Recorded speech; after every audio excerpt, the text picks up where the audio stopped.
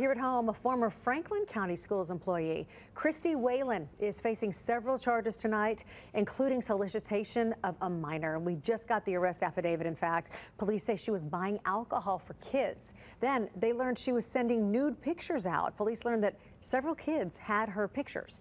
In the affidavit, it says Whalen used to be a teacher's aide at the middle school. The district did not tell us when she left.